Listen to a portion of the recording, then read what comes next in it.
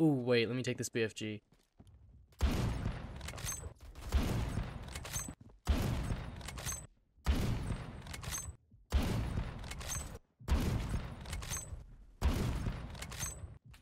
Wow, isn't the BFG just so fun?